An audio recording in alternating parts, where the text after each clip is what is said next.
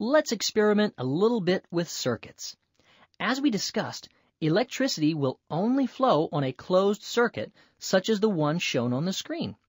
Notice that the electrons flow through the wire and each of the bulbs before they return to the battery. If one of the wires breaks, a gap occurs in the circuit and all the lights go out.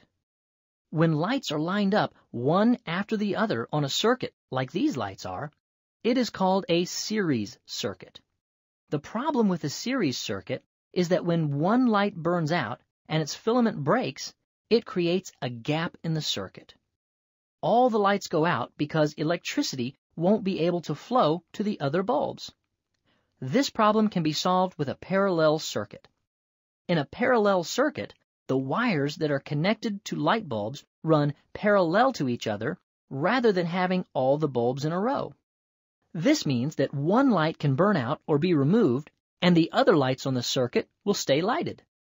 For example, if we remove the light that is closest to the battery, the other two lights don't go out because each light is connected in a way that the electrons have a complete path to travel to the positive side of the D-cell battery.